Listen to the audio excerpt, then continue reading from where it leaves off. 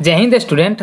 तो इस वीडियो में आज बात करने वाले आईसीआर को लेके बहुत बड़ा अपडेट यहाँ पे आया है। जो भी स्टूडेंट आईसीआर का फॉर्म भरे हैं, उनको जो है यहाँ पे एक अपडेट दिया गया है, जो कि इस इस तरह का है। मतलब आपका फ़ोटो अगर रिमूव हो गया या फ़ोटो आपका फ़ोटो से मैच नहीं कर रहा है इस तरह का क्वेरी को लेके यहाँ पे दिया गया है। साथ में एक और बड़ा अपडेट दिया गया जिन स्टूडेंट का। हो सकता है सेंटर दूर हो गया हो या फिर उसका जो है डेट ऑफ़ बर्थ किसी भी प्रकार का आपका फॉर्म भरने में गलती हुई हो तो उन सब का जो है यहाँ पे एक अपडेट दिया गया है और आप जो है उस सब का सुधार कर सकते हैं। हम यहाँ पे बात करेंगे आप कैसे कर सकते हैं स्टेप बाय स्टेप तो बने रहें हमारे साथ। चलिए यहाँ पे सबसे पहले आपको क्या करना है स्क्रीन पर टाइप कर देना N T A I C A R simply आप इस तरह से टाइप करके जो है आप कर सकते हैं, आराम से फॉर्म को अप्लाई एन टी आप जैसे ही टच के उसके बाद आपको सर्च कर लेना है।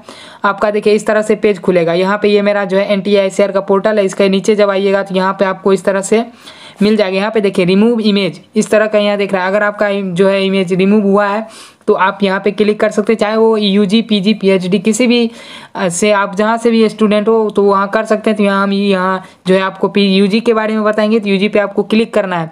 जब क्लिक कीजिएगा तो आपको सिंपली यहाँ लॉगिन का ऑप्शन दिखेगा, आपको यहाँ पे लॉगिन कर लेना है और इसको जो है कैसे फिलअप आपको क्या करना होगा? यहाँ पे देखिए application form application number password security pin और यहाँ पे देखिए ये जो है आपको इंटर सिक्योरिटी पिन करके आपको कर दे। अगर आप इनकेस मान के चलिए एप्लीकेशन नंबर भूल गए और यहाँ पे पासवर्ड भूल गए तो आपको यहाँ दोनों ऑप्शन दिया हुआ है। जैसे इस पर क्लिक कीजिएगा, आपका सारा ऑप्शन मिलेगा। डेट ऑफ़ बर्थ डाल देना है, नाम डाल देना है, उससे आपका पासवर्ड फॉरगेट हो जाएगा और अप्लीकेशन भी आ जाएगा। तो यहाँ हम आपको सिंपली लॉगिन लेके अगला पेज पे लेके चलते हैं।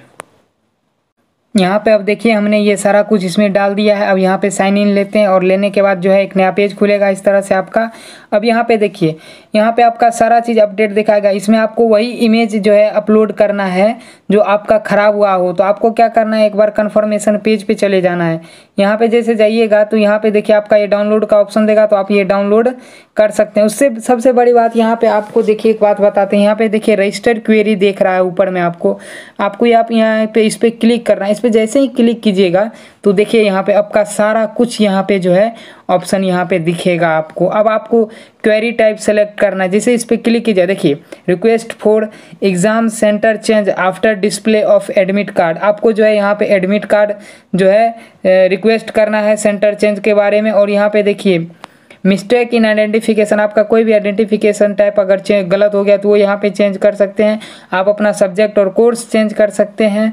Not able upload photograph signature ये अगर आपका गड़बड़, ये सब कुछ मतलब जो है चेंज यहाँ पे कर सकते हैं। यहाँ पे सारा कुछ के लिए दिया हुआ है। आप एक बार इसको रीड कर लेंगे तो सारा कुछ आपको यहाँ पे मिल जाएगा। आप जितना भी आपका प्रॉब्लम जो भी है, वो यहाँ पे सारा जो है आप चेंज कर सकते हैं। नहीं तो अगर कुछ अलग प्रॉब्लम है, इसमें ऑप्शन में नहीं दिख रहा है तो आप उधर पे क्लिक करेंगे। और यहाँ पे देखिए क्वेरी डिस्क्रिप्शन दिया हुआ है। इसमें आप अपना क्वेरी को डाल देंगे। और जिस भी टाइप का आपका क्वेरी है, यहाँ पे आप जो है जेपीजी या पीडीएफ फॉर्मेट में आप अपना यहाँ पे जो है उसका डॉक्यूमेंट साथ में लगा सकते हैं कि हाँ सर देखिए यहाँ पे ये वाला मेरा गलती हुआ है। अब जो है हम यहाँ पे आपको जो है फॉर्म हम अपना देख लेते हैं। मेरा फ़ोटो गलत भी अपलोड हुआ है तो यहाँ पे देखिए सिंपली आएँगे। तो व्यू इमेज यहाँ दिखेगा। इस पर आप एक बार क्लिक कीजिएगा तो यहाँ पे देखिए, यहाँ पे मेरा सारा इमेज उमेज सब कुछ क्लियर दिखा रहा है। तो हम यहाँ पे सिंपली होम पे चले जाएँगे।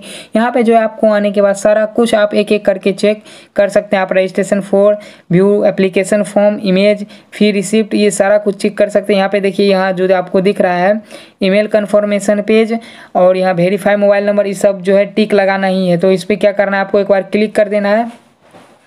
और क्लिक करने के बाद यहाँ पे देखिए इस तरह से खुलेगा। अब यहाँ पे आप जो है कैप्चा जैसे डालिएगा और सेंड ओटीपी पे क्लिक कीजिएगा तो आपका जो है ओटीपी अपने फ़ोन पे चला जाएगा। यहाँ हम अपडेट नहीं कर रहे हैं, बाद में करेंगे। आप लोग को समझाने के लिए बता दिए। इसी तरह आपको मोबाइल को अपडेट अपडेट कर लेना है और ईमेल आईडी को वेरीफाई कर लेना है। ईमेल आईडी को इसलिए वेरीफाई करना है क्योंकि सेंटर जो आपको अलाउट होगा तो उस टाइम में आपका मोबाइल पर भी मैसेज आएगा।